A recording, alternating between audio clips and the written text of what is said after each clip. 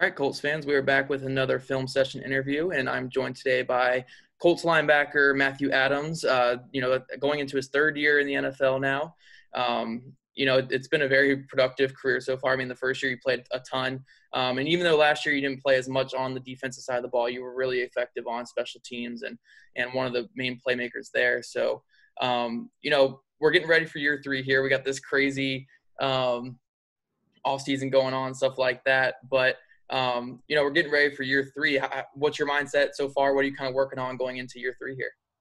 Uh, year three, I'm just trying to work on like everything, just just to make myself a better athlete, um, better like more knowledge. You know, just knowing the game and knowing the plays, knowing the assignments, and understand why. Um, and most of all, just trying to get my body right for for the whole entire season because I feel like every year I run out the gas at like the end of the year to where I feel like I can just train my body more to be able to finish the season.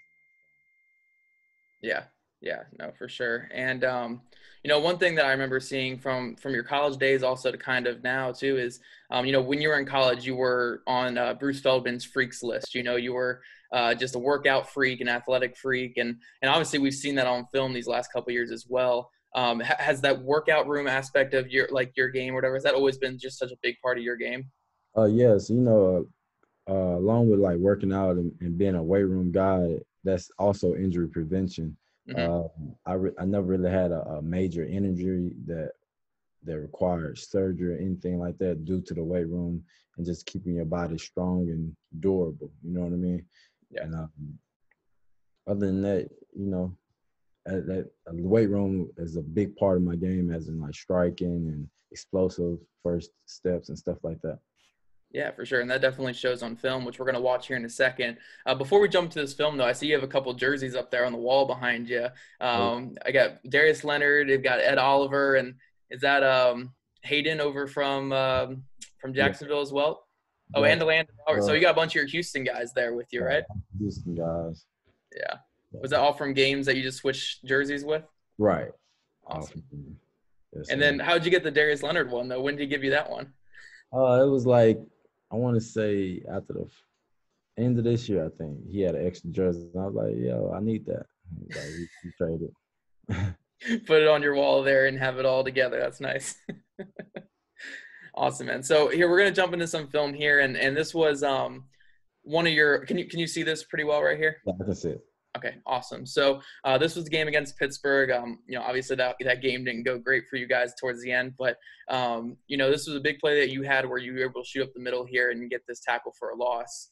Um, and yeah, this is one of your best defensive plays of the year. I like. And and when it comes to goal line defense, you know, are you really ever worried about the pass here, especially when you're on the one? Or are you just kind of crashing in trying to sell out for that run play. Uh, yeah, I'm I'm I'm downhill, strictly downhill on this one. You know, I react to the pass late, but down here, you know, it's big boy football. You know, they got like a extra extra offensive tackle in the game, like two tight ends, fullback. Mm-hmm. You know, it's it's it's coming downhill. Yeah. So is, is I mean, do you guys even play gap football here with your linebacker with linebackers here on the goal line, or is it just shoot forward um, and uh, try to get that instant penetration? Definitely got gap uh, everyone has a gap, but down here it get a, a lot of sloppy because it's just it's this man on man win your matchup type thing down here. So it's it's just you come down here and you just read off the people right here. Okay, and so you are you reading just the guys blocking down here, and then you're coming off the backside, figuring that run's going. I uh, guess it's kind of going left. It's going up middle. I mean, is that what you're kind of reading here? Right now you just want to stay tight to everything. You know, you see the pulling guard in front of you. You want to be tight as as tight because the running back is taught to to strafe off the the the butt cheek of wherever his aiming point is. Like if his aiming point that guard, he's going mm-hmm. he's going to go right off the butt cheek of the guard. You know what I mean? So everything is crashing down. So you just want to stay tight. You don't want to have no air.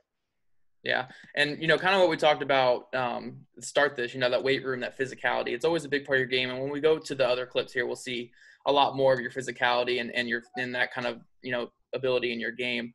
Um, but especially in the goal line here, how how big is it just to to be physical going forward and play? You know, kind of match up well with those offensive linemen there and get in, in traffic. Uh, you just you just got to bring it. You know, you got to you got to bring it with everything in you. All 230 pounds, and just got to come downhill. You you you see right here, you got Denico Autry with great push and penetration, with mm-hmm. which helps me just come. Basically, I'm just coming clean it up. You see Denico right there, right there. Yep, he's the one crashing down. Here, let me get yeah, that. He's right here for everyone watching. He's right here crashing down. Get great penetration. I just I just play off him right there. I, I feel him like getting upfield. I just play off him. Yeah, for sure. And then uh, before we get to this next clip here, just because oh, that's my computer, get that off the screen. Um, I want to talk about these guys around you here. You know, you got Bobby Okereke here, Darius Leonard. I believe Anthony Walker might not be on this play. I don't know where Anthony Walker is, but you know, you guys have a really good linebacker group. Um, probably one of the best in football when you put in the starters along with you and and Franklin, EJ Speed in the backup. Um, how is it in that linebacker group? How how do you guys kind of mix? You know, also competing with each other to, for playing time, but also you know being teammates and and playing off each other.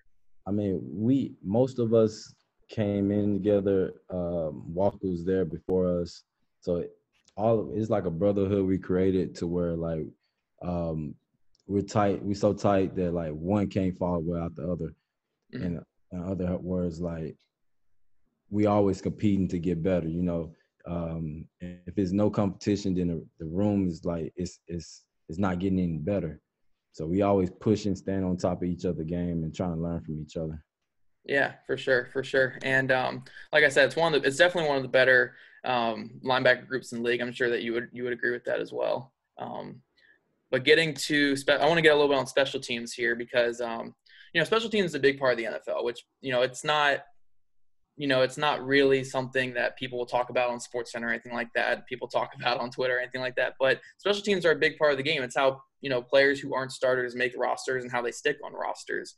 And uh, these last two years, you've played a ton of special teams. Um, and this one play here was just, you know, I just want to throw this play up in the background. We talk special teams where you're able to get down and make a tackle here. Um, but what kind of mindset do you have to have, you know, to be a special teams player in the NFL? Uh, you got to have it's just desire at the end of the day. You know, special team it breaks down to more of a one-on-one matchup. You already know your matchup coming into the game. You know his tendencies, you know his weaknesses, his strength, and like it's it's, it's basically you just like trim it down to a one on one. It's like you beat your matchup, you find the ball. You know what I mean? So right here, I'm just I'm running down. I got speed. I know who's coming to block me.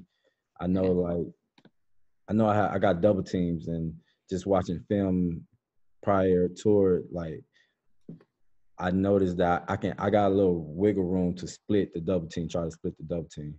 Yeah. And um, that's what I do right here on this play. Yeah, it's a really good play. Get them right back at the 20 yard line. Um, did you play a lot of special teams in college at all, or is it kind of something that you played mostly here in the NFL now? Uh, I played a lot of special teams in college as well. I was one of them guys that always just wanted to be on the field. Yeah. Yeah, no, I got you for sure. And um, you know, you guys are building a really good special teams unit here. You know, George Odum was really good uh, for you guys last year. Uh, Ashton Dulin was a really good addition. Um, you know, what would you kind of say about the overall special teams unit and those other guys who are out there with you, and how would you kind of feel about that group overall? It's it's it's it's it's, it's a good group of guys because everybody's hungry. Nobody's like has that. I don't want to play special team mentality. Everybody want to be like, coach, I want to do this. I want to do this. Like everybody wants to play special team and everybody wants to be on the field and want to make plays on a special team unit. So it makes it a great special team group. Yeah, definitely. And now I want to get to some of your uh, snaps here at Sam in 2018 because I thought you had some some really good highlights here, and this is definitely one of my favorite plays here against the Dolphins, where you make um, this tackle at the line of scrimmage on the wide receiver screen. Um, but so you're lined up right here over the slot receiver. Are are you going to be in? I don't know if you remember this play especially, but are you going to be in that man coverage here, or is this kind of like a zone to start off this play? Uh, we're, we're in the zone right now. Um, in our zone coverages, we 100% on uh, QB. Mm-hmm. So we're just reading the QB and reacting in our zone coverages. So is that what made this play so easy for you to read? The second that you saw your, you know, the slot guy go out to block here, that's when you were able to react and come downhill. Right. It's like playing linebacker. You kind of got to be able. You got to be cross-eyed a little bit, especially being outside the box, mm-hmm. uh, because you got to you got to feel the receivers but see the quarterback. Yeah. So left eye is on the receivers, your right eye on the quarterback, basically. Yeah, definitely. And then we kind of saw towards the end of 2018, you were getting a lot of playing time. You know, you were getting out there a lot with the starters, uh, playing some Sam, playing a little bit and off ball like this. Um, you know, and you kind of got into a really good groove. You made a couple plays here. I know against Jacksonville and against the Giants, you made a couple big plays. Um, you know, how did that last half of 2018 feel? You know, compared to that first half when you were just kind of a rookie adjusting to the game. Uh, first half, first half of this my 28 uh, team season, my rookie year, it was just just go. You know what I mean? Like you might not know all the the the the playbook inside and out, the all the little tweaks and checks and stuff like that, but just just be a football player, just pull the trigger and go. You know, just make football simpler so you can play fast. Towards the end, um, like it's a long season your your rookie year because you coming from combine training to camp to to a whole 20, 20 game season to to where like you gotta you you hit that rookie wall. They a lot of people say they're rookie wall, but um, you just got to fight through it and keep your body right. And like towards the end of the season, it's a it's a it's a time where you want to get comfortable. I feel like towards the end of the season, I I had started to get comfortable, just just like you know, like not much scouting or not watching film as much. And it, it shows towards the end of the season, I was missing plays that I normally would make in the beginning of the season. So gotcha. you just gotta stay uncomfortable throughout the season.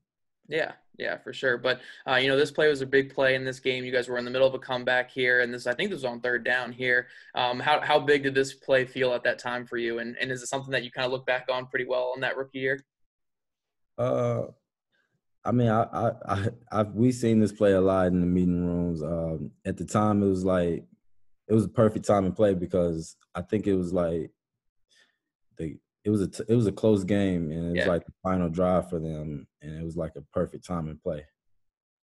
Yeah, no, definitely. It was a really fun play here. And then get into this uh, next play here. And this next play was um, I call this play just absolute bullshit uh, because this is what the, this is your first career sack um, that was taken away from you by by the refs here. Um, I mean, I don't know. I mean, you drop your head a little bit, but it's I don't yeah. know. What was your thoughts afterwards when you know you're, you're getting up, you're celebrating this your first career right. sack, and the refs kind of took it away from you? What were kind of your thoughts going on there? My, my first thought, as soon as I made contact, was like, I, I don't want to land on the QB. I think I, I sprained my wrist right here, like trying to like keep my body weight from off the quarterback because because you're not supposed to land on top of. Yeah, you're crawling off them here. I'm trying to crawl and catch my weight. I think I sprained my wrist right there. And then Nico come over, flip, put his weight on me. So at the end of the day, like I didn't see the flag and I was celebrating. Next thing you know, it was just quiet. I was like, dang, like a lot of my teammates ain't celebrating with me, you know. it's a flag. Oh, I, I see why. Uh, I still, I mean, when you guys were in the meeting room after the after the game, was there, you know, were the coaches saying like, "Oh, you can't lead with your head that way," or was it anything in particular? You know, they always coaching and uh, want to see me make these plays, but legally. Uh, so they told me to just lower my target zone. You know. Yeah, yeah, for sure. But this, um, I mean, I'm sure this was a great play from your rookie season, even despite the uh, the um the penalty here. But um, was this a design blitz for you off the edge here, and that's why you were able to get you know so much room right. here to get downhill? Right. So I lined up on the edge quite a bit, and sometimes I'm coming, sometimes I'm not. It's like anywhere about it's the same alignment. Everything pretty much looked the same and um, I just I caught him sleep uh, sleeping on me, and like I came, made the play, easy play. Yeah, and I, I, definitely saw you know a lot that rookie year. They did put you in that kind of on the line like that on the outside there, and, I think that bodes really well with you know your strength and that weight room stuff we were talking about. You're able to hold up at the at the point of attack better than most linebackers. Was that kind of the reason why they were always putting you on that edge so you can help in that run defense and also hold up at the point of attack? Right. I would agree with that. You know, being an outside backer is a lot of setting the edge, mm-hmm. and you got to set the edge on fullback, tight ends, offensive tackles. You know, so so the other guys can run. You know what I mean, and make the plays. Yeah, definitely. And then this last play, we actually have you some setting some edge here.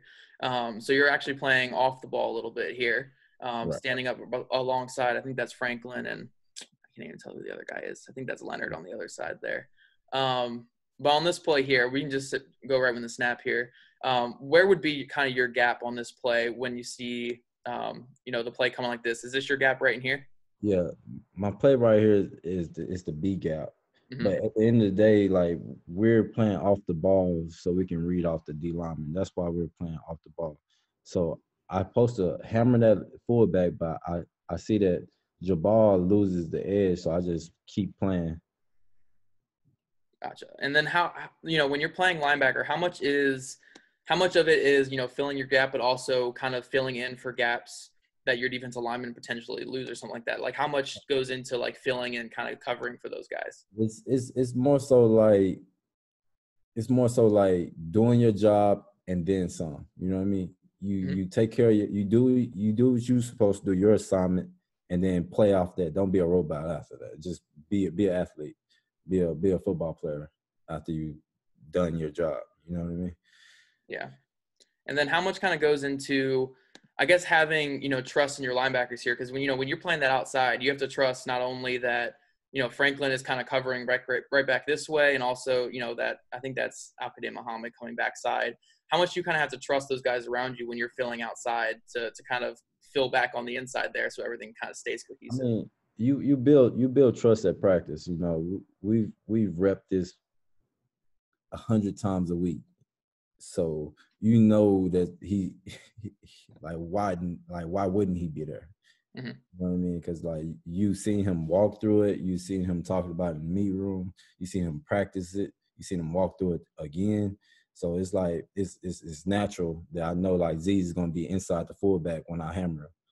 Yeah, definitely. And then uh, kind of finish off this interview here. You know, you guys added a lot of defensive talent this offseason, um, starting with DeForest Buckner, who's an all-pro, uh, Pro Bowl type player, uh, Xavier Rhodes, who was a Pro Bowler. Add a lot of talent to this defense. Uh, how excited are you to play with those kind of guys here on the defense this year? Uh, I'm very excited. You know, it's just like because everything starts up front with the D line. You know, you got you got Big Grover. I expect like my expectation for Grover is just through the roof. Uh, Grover Stewart, and then you got Defoe helping them out on the inside. Then you got Justin Houston and and Ben and like a lot of athletic pass rusher. Uh, it's, it's, it starts up front. So once the D line can stop the run and affect the pass, it makes playing linebacker and safety and corner a whole lot easier. Yeah, and you know, you, you brought up Grover Stewart there, and I wasn't going to ask this, but you know, Grover was a player when I was watching film last year. I thought was one of the most underrated players on your guys' team. Um, I mean, just a, a, stout run defender. Um, what are you kind of expecting from him this year, though? I mean, as he kind of takes that next step. I mean, he's going into a contract year, I believe. So, um, it's, not yeah. even what he do on game day. It's just what he does at, what he does at practice every day. And it's like uh, he's a hundred miles per hour on everything he does, and he's he really works at everything. You know what I mean? So it's just like I don't see nobody can stop him. You know what I mean? Yeah, he's yeah, a big South Georgia born person, so it's like, yeah, he's different. Oh, he's a stud, man. I, I think this year is going to be huge for him, and I think people are sleeping on him because they brought in, uh, you know, DeForest Buckner and and mm-hmm. you know Autry's still there and all these other guys, but man, he was he was really good last year. So yeah, I think he ran like a four eight or something like four. Like, At like three hundred forty pounds or something yeah, too. Like he's huge, he's fast, and he's big, strong, and fast. Like yeah. Yeah, no, he's a good one for sure. Um, but to conclude this interview here, you know, we, we talked about the talent that you guys brought in. We talked a little bit about your your game from last year and also from the rookie year. Uh, but what can we kind of expect, you know, going forward from not only you but also this Colts team here in, in 2020, if, if we have a season? Hopefully, we have a season. Uh, I'm pretty sure we'll have a season. Like I can't imagine football, like life without football. But yeah. uh, I feel like we're like as of right now, we're like taking advantage of each day. You know, it, it's still an off season, but for us, we're we're we're getting it going right now. Uh, we're being productive in meetings, and I feel like everybody's just coming into their own. Like everybody's just understanding their role and and and and want to maximize their role for the team. And like um, going into this year, like for me, I just want to, and for all my teammates, we just we came up with like we trying to reinvent ourselves to our team and like how can we reinvent ourselves to the team and like for me it's just being being more dialed in and detailed to to the small things and and being a, a, a everyday player on special teams and every down player and being able to, fill in like you know a lot. Darius and Walker took a lot of reps being that next linebacker to come in or Bobby, you know what I mean, to come in and play any position and like to where there's no drop off. Mm-hmm. So for me, just mastering my current role and stuff like that. Awesome, man. Awesome. Well, hey, I appreciate you taking the time today, and um, you know, good luck this next season, and hopefully, again, we we get to to playing some football, and and we can see the Colts make a pretty big run this year. Yes, yes, sir.